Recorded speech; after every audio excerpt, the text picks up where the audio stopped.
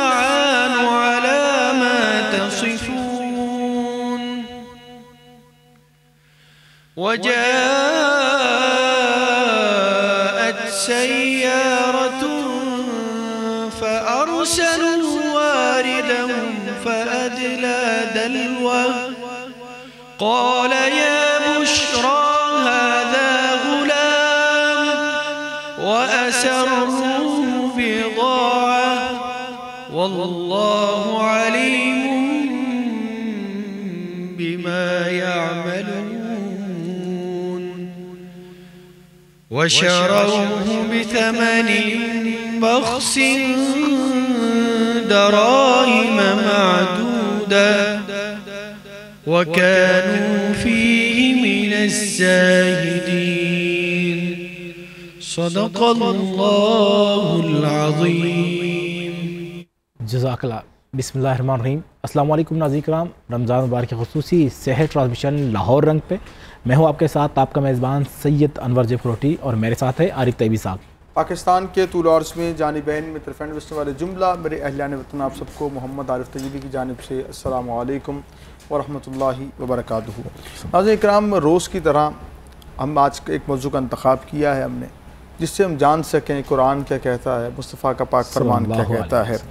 और हुसन सलूक जो है वो बहुत मैटर करता है इंसान की शख्सियत के ऊपर कि वो कैसा हुसन सलूक अपने लोगों से कर रहा है अपने अज़ीज़ अकारब से कर रहा है अपने कुलीग से कर रहा है। आज हमारा मौजूद हुसन सलूक जो है उसके बारे में कुरान क्या कहता है मुस्तफ़ा का फरमान क्या कहता है तफसीली इंशाल्लाह इस पर बात करेंगे लेकिन पैनल में बहुत हमारे प्यारे शख्सियात हमारे साथ हैं तो नजीब साहब कौन कौन से सनाखा और मेहमान हमारे साथ हैं ज़रा बताइए। जी बिल्कुल रिजवी साहब आज की इस महफिल में हमारे साथ शामिल है पीर अबू नुमान रिजवी सैफ़ी साहब हजूर आप खुश आमदीद कहते हैं असल वालेकुम रहमतुल्लाह। वालेकुम अस्सलाम वरहमतुल्लाह बहुत शुक्रिया। सच जजाकल्ला उनके साथ हैं पीर वारिस अली तहबी साहब। हजूर आपको भी खुश आमदीद कहते हैं। अस्सलाम वालेकुम अच्छा उनके साथ जो हैं प्रोफेसर हाफिज़ सैफुररहमान भट्ट साहब हैं। हजूर आपको भी खुश आमदीद कहते हैं। अस्सलाम वालेकुम वालेकुम अस्सलाम वरहमतुल्लाहि वबरकातुहू। जज़ाकुमुल्लाह खैरन कसीरा। जजाकल्ला और तभी साहब उनके साथ हमारे यंग वकील हैं। चेयरमैन हैं यूथ अफेयर्स कमेटी के। हमेशा पैनल का हिस्सा भी होते हैं। आज भी खसूसी तौर पे हमारे साथ शामिल हैं। एडवोकेट चौधरी एहसानुल हक साहब। हजूर आपको खुश आमदीद कहते हैं। अस्सलाम वालेकुम वालेकुम अस्सलाम बहुत शुक्रिया। Thank you so much for having me और उनके साथ हमारे साथ सनाखानी के लिए हाफिज़ फैसल अब्बासी साहब हैं। आपको भी खुश आमदीद कहते हैं। आगाज़ करते हैं नाते पाक से। बिस्मिल्लाह कीजिएगा सुबह अल्लाह माशा बड़े प्यारे अंदाज के नाते पाक पेश कर रहे थे। आज का मौजू बहुत प्यारा है कि तुम जो है अगर अहल ज़मीन पर अगर आप जो ज़मीन पर रहने वाले जो लोग हैं आपके जो कारब हैं दोस्त हैं उनके साथ नेकी करेंगे उसने सलूक करेंगे इससे पहले कि आपको ये दुनिया से जाने का परवाना मिल जाए। वो जो हम मुख्तसर सा जो हमारा क़याम है ये ऐसा क़याम होना चाहिए जो दुनिया से जाएँ तो लोग हमारे बारे में अच्छे कलामात कहें। और किसी ने हुजूर मौला कायनात से पूछा कि हुजूर ये बताइए कि नमाज़ में जब क़याम एक है रुकू एक है तो सजदे दो क्यों हैं? आपने फरमाया कि पहला सजदा जो है जब इंसान करता है तो कुरान पुकार उठता है कि तुम इसी मिट्टी से बने हो। जब दूसरा सजदा करता है फिर कुरान से आवाज़ आती है कि इसी मिट्टी में जाना है। और जो मुख्तसर सा बीच में जो क़याम आता है दो सजदों के दरमियान जब तो फरमाया वो मुख्तसर क़याम जो इस बात की याद दिलाता है कि तुमने इस दुनिया में मुख्तसर रहना है। अल्लाह ये मुख्तसर से जो हमारा रहना है ये कैसा रहना है? हम लोगों के लिए बाइस से अजाब तो नहीं बन जाते कि उनकी ज़िंदगी अजाब बना दें या लोगों के लिए आसानियाँ बांटते हैं। आज से बात करते हैं कि लोगों के साथ आसानी हम कैसे बांट सकते हैं हुस्न सलूक हमारा कैसा है रवैया कैसा है जबकि कुरान क्या कहता है मुस्तफ़ा का पाक फरमान क्या रहनुमाई करता है आज भी शर तफसीरी कलाम इस पर करते हैं। हमारे साथ जो पैनल में तशीफ़ फरमा है करम प्रोफेसर आपसे आगाज़ करते हैं कि आज का मौजू बहुत बड़ा मौजू है कि हम हाजी भी हैं हम नमाजी भी हैं हम बड़े सखी भी हैं लोग हमारी इज़्ज़त भी करते हैं लेकिन लोग हमारी शख्सियत से तंग हैं। कहते हैं, ये किसी तरह मर जाए, जान छोड़ जाए, हम कुछ सुकून से जी लें। ऐसे लोगों के बारे में क्या कहेंगे? नमाज़ वक्त, अजान आती वक्त नमाज़, वो दौड़ के नमाज़ की तरफ़ जाते हैं। लेकिन उससे सलूक की बारी आती है, जब लोगों के लिए सहूलत की बारी आती है, वहाँ पर वो फ़िरौनीत का किरदार अदा करता है। इस बारे में आप क्या कहते हैं? जी जजाकल्ला बहुत शुक्रिया। इस अजीम प्रोग्राम में शिरकत की वजह से आप सब मुबारकबाद के मुस्तक हैं। जैसा कि आपने अभी बात का आगाज़ किया है कि शायर ने भी उस बारे में यही कहा उम्र दराज मांग कर लाए थे चार दिन दो आरज़ू में कट गए दो इंतज़ार में हम्म। दुनिया की ये मुख्तसर तरीन ज़िंदगी अल्लाह रब्बुल ने मुझे और आप सबको इसलिए अता की है ताकि वो जन्नत का घर जो हमारे बड़ों से शैतान की हरकत की वजह से छीन लिया गया और ज़मीन हम्म। पर उतार दिया गया अब हमारे लिए इस मुख्तसर क़्याम के अंदर ये लाइन ऑफ़ एक्शन हमें दी गई है कि अब आपने आमाल करके उस घर को हासिल करना है। तो मैं तो इस हवाले से ये समझता हूँ कि इस्लाम सिर्फ़ अकायद का नाम नहीं है। इस्लाम इबादत का सिर्फ़ नाम नहीं है। चे जाए कि ये बुनियादी चीज़ें हैं, अकायद हैं, इबादत हैं, ये बुनियादी चीज़ें हैं, बेसिक चीज़ें हैं, लेकिन नबी अकरम सल्लल्लाहु अलैहि वसल्लम जिनके बारे में अल्लाह रब्बुल आलमीन ने इरशाद फरमाया, लक़द का नलकुम फ़ी रसूल उसवतन हसना। यकीनन तुम्हारे लिए मेरे आखिरी पैगंबर जनाब हज़रत मोहम्मद रसूलुल्लाह सल्लल्लाहु अलैहि वसल्लम की सीरत तय्यबा एक रोल मॉडल की हैसियत रखती है। तो मैं इसमें ये चीज़ ऐड करना चाहूँगा कि आप सल्लल्लाहु अलैहि वसल्लम की ज़िंदगी मुबारक में जहाँ अकायद थे आमाल साल को परफॉर्म किया है।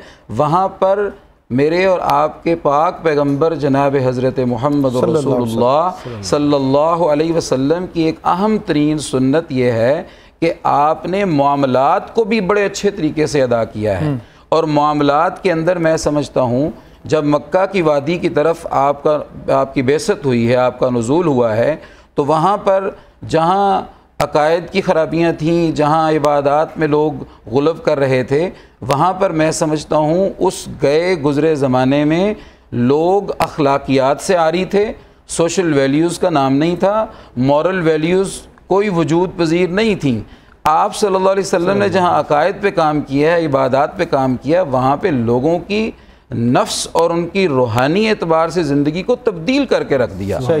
तो मैं समझता हूँ कि हुसन सलूक का आला नमूना नबी करीम सल्लल्लाहु अलैहि वसल्लम की ज़ात है। जहाँ हम नमाज़ पढ़ते हैं रोज़ा रखते हैं इबादत करते हैं वहाँ हमें हुसन सलूक के हवाले से भी आप वसल्लम की सीरत पर अमल करना चाहिए। बिल्कुल। अच्छा स्पीर साहब यही इस बात को हम लेके चलते हैं तो मैं ये पूछना चाहूँगा आपसे किन लोगों के साथ नेकी का हुक्म दिया गया है?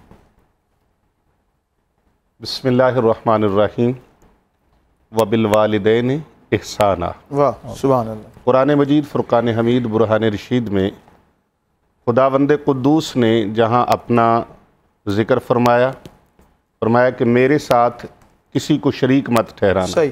अच्छा शिरक सबसे अजीम गुनाह सबसे बड़ा गुनाह। हम्म।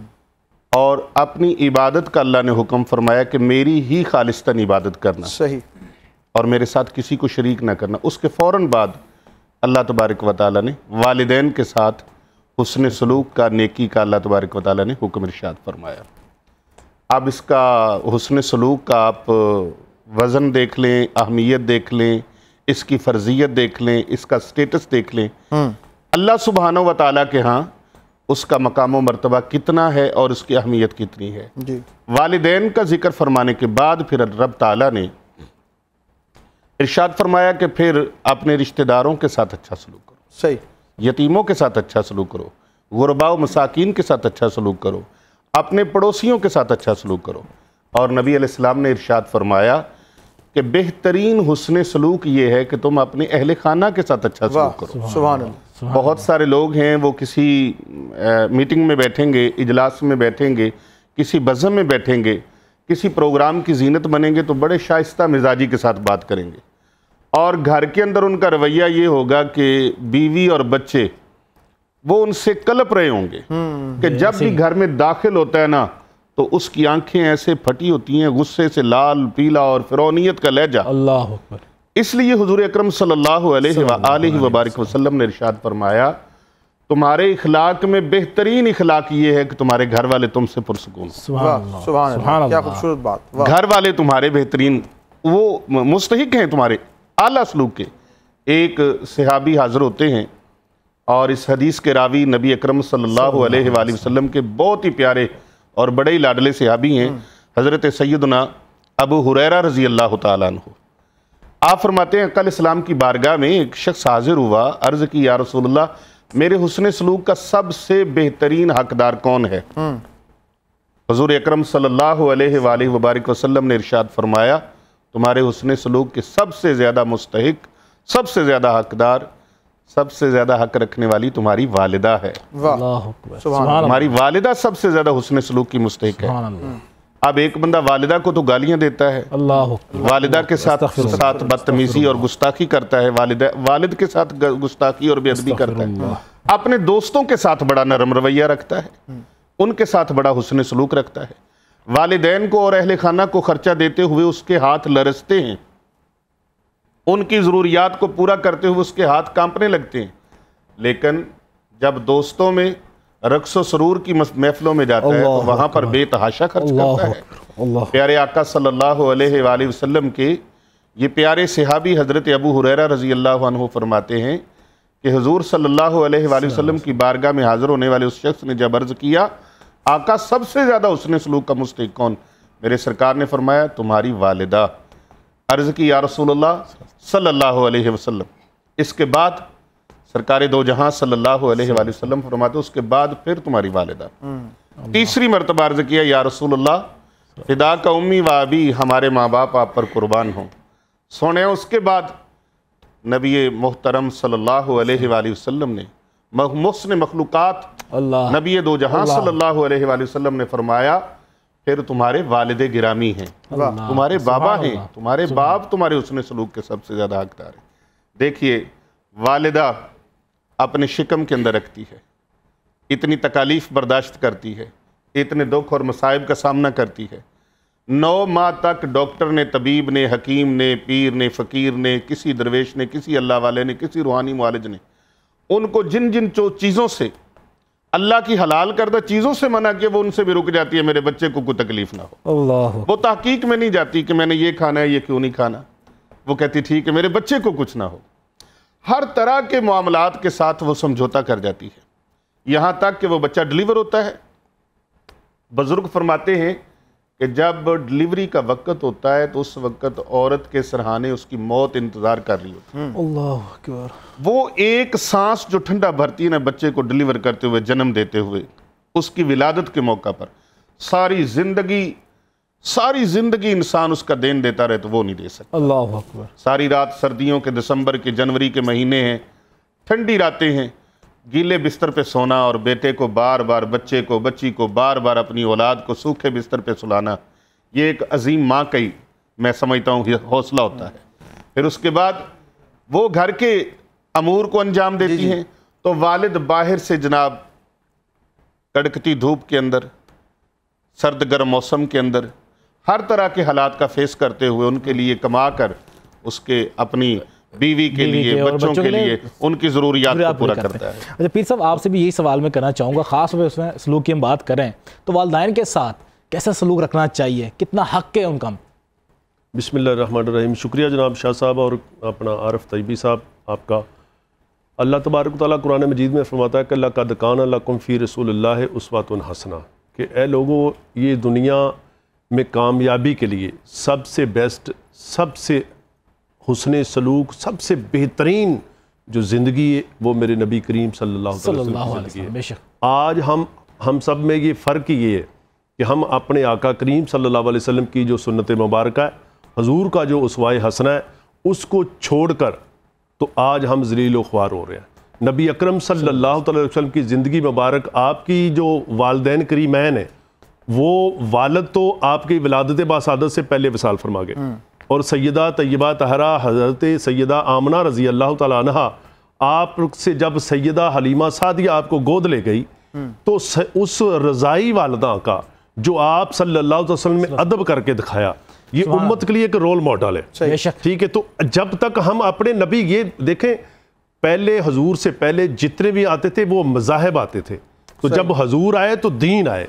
ये हमारा दीन जबता हयात है मुकम्मल कंप्लीट क्या बात तो, बहुत ज़बरदस्त बात की सर ये मुकम्मल कंप्लीट दीन है। तो जब तक कंटिन्यू करेंगे लेकिन यहाँ छोटा सा वक्फा लूँगा। माजर के साथ इंशाल्लाह नाजरीन कराम ब्रेक के बाद वापस आते हैं। पीर साहब से यही दोबारा शुरू करते हैं। जाएगा कहीं नहीं वापस आते हैं। छोटे से कमर्शियल ब्रेक के बाद।